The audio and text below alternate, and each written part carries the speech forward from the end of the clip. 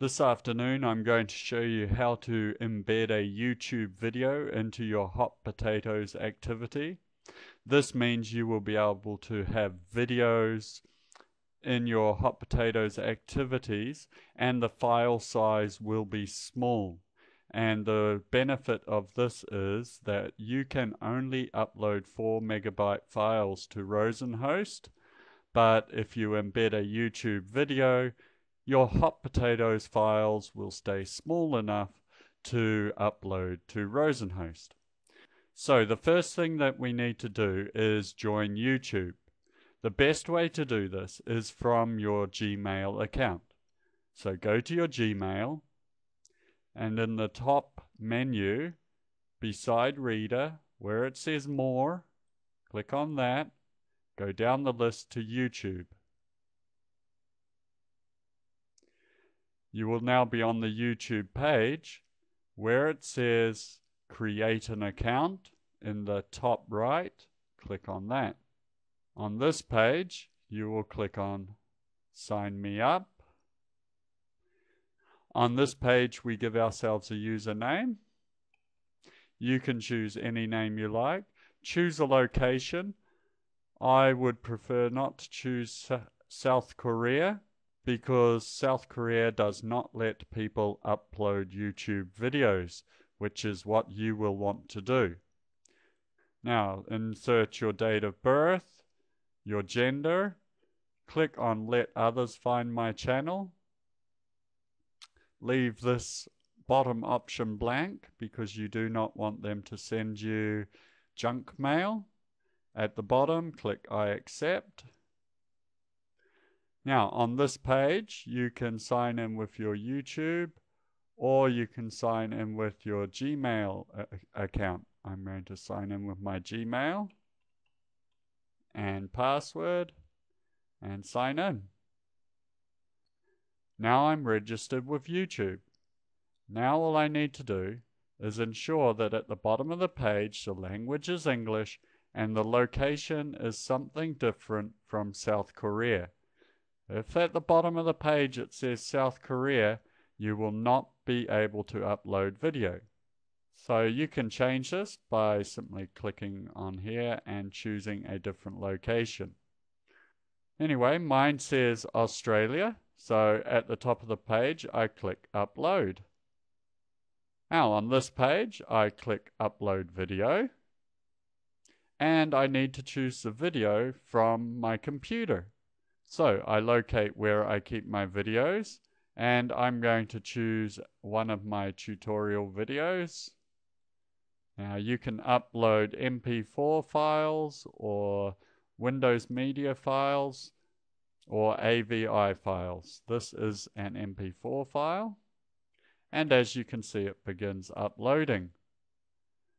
Give the video a title and call, give it a description the title is important, the description's not so important. Tags, don't worry about tags for now. Category, education, and share your video. You want to keep that as an option. Click Save Changes. And there we have our video. Next, click on Go to My Videos. Now, it is still processing this video, so we will not be able to see it playing in YouTube. However, we can still get the code that we need to embed into our hot potatoes activity. So click on play, and you can see that it says this video is not yet processed. It will be in about 10 minutes, but below the video, or sometimes on the right, but in this case, below the video, it says get embed code. Click on that and we have some options. Here's the code and we can choose the size of our video. I'm going to choose a small video because I'm going to embed this in hot potatoes. I want it a bit smaller. I can choose a border if I want. From there, I go up to this code I select all and I copy. From here, I need to go to my hot potatoes activity and I'm going to embed this code.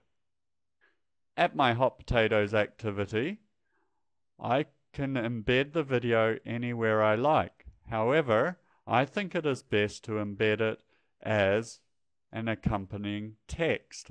So see this little book button here? Click on that. Click on include a reading text. If you don't click that, the text will not show up. Give this a title. And then in the text box below, simply right click and paste and you will see our YouTube code embedded. Click OK. Click File Save. File Create Web Page, standard format.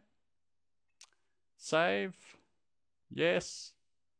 And view exercise in my browser. As you can see, I have embedded the YouTube video into my hot potatoes activity.